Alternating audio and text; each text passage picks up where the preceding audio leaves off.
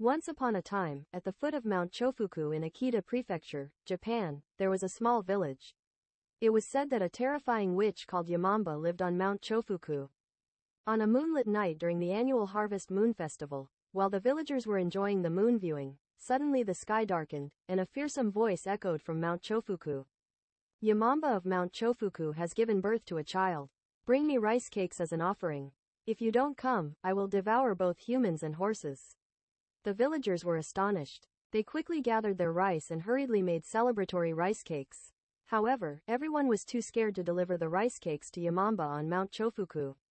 You should go. No way. I have a wife and children.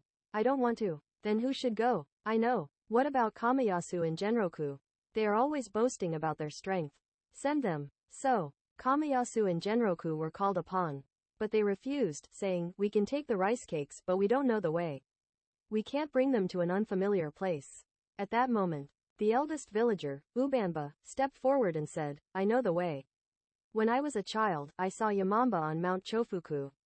I will guide you. In this situation, Kamayasu and Genroku had no choice.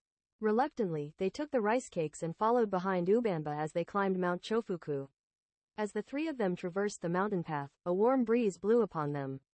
Kamayasu asked, Ubamba, are you okay? I'm fine, I'm fine. Ubanba, are we still far? No, just a little further.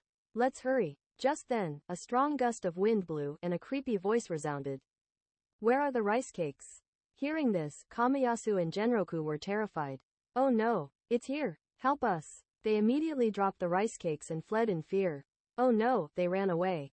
Oh well, I can't carry the rice cakes alone. Ubanba had no choice. He left the rice cakes behind and went to Yamamba's house. When Yamamba saw Ubamba, she smiled with delight. Oh, you've worked hard. Actually, I gave birth to a baby yesterday, and it was hungry for rice cakes. That's why I sent it to fetch some. So, where are the rice cakes?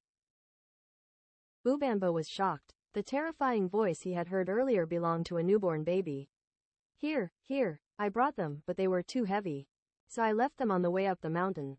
Upon hearing this, Yamamba ordered the baby, Maru, go and fetch the rice cakes. In an instant, Maru, the baby, flew like the wind and returned carrying the heavy rice cakes on his own. Truly, he was Yamamba's child. Well, I guess that's it for me. As Ubamba tried to leave, Yamamba stopped him.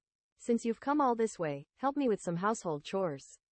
Oh, reluctantly, Ubamba spent the next 21 days cleaning and doing laundry at Yamamba's house. Afterward, Yamamba said, I'm sorry for keeping you for so long.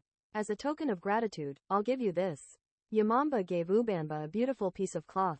Here, Maru. Take Ubanba back to the village. As instructed, Maru effortlessly carried Ubanba and swiftly brought him back to the village. Now, when Ubanba returned to the village, everyone thought he had died and was in the middle of a funeral. Ubanba, you're alive. Of course, I won't die so easily. But more importantly, I received a gift from Yamamba. Ubanba shared the cloth from Yamamba with the villagers. However, no matter how much they cut it, the cloth returned to its original length by the next morning. It was a mysterious cloth. From then on, the cloth became a famous local product in the village, and everyone sold it, leading a happy life. And that is the end of the story.